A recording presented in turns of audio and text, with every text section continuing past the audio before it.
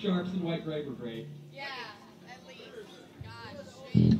Thanks so much, guys.